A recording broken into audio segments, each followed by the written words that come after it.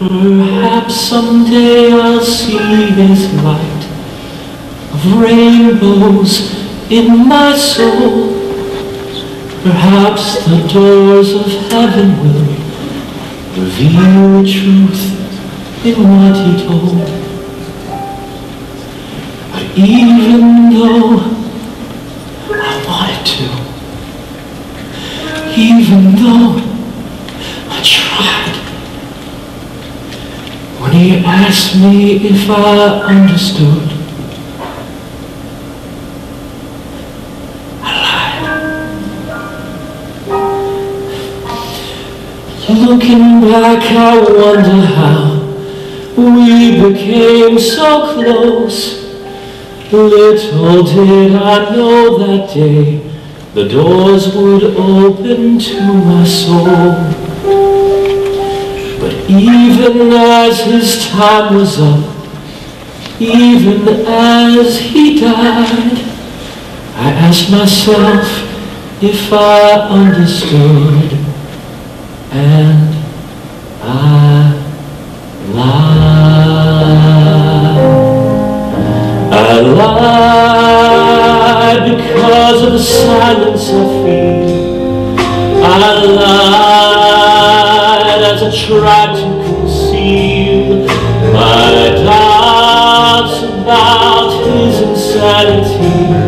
I lied because I couldn't see what harm there would be if I lied. JB was my friend. I wanted to believe that he was right, that the Holy Spirit had inspired his work, had touched his family and friends, had changed me. But I could not. In the pastor's eulogy for J.B. Murray, he said this master visionary left no unfinished business.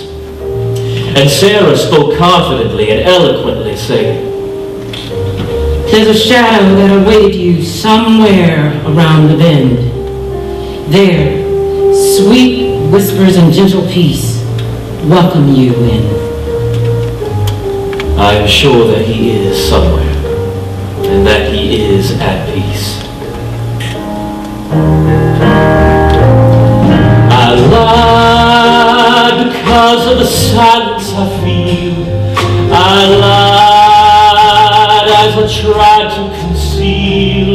My doubts about his insanity. I lied because I couldn't see what harm there would be if I lied. In the years since his death, I have come to believe that the language of the Holy Spirit did take J.B. Murray in his artistic form, places his bodily form could never go. First into the hands of his neighbors, then into the minds of those of us who felt compelled to seek his work out. Those of us who were privileged to know J.B. Murray and spend some time with him will never forget him.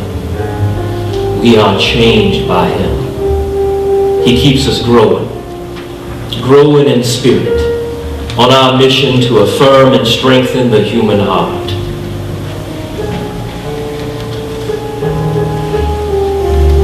Maybe those are the hands of the Holy Spirit working in me, helping me grow to understand.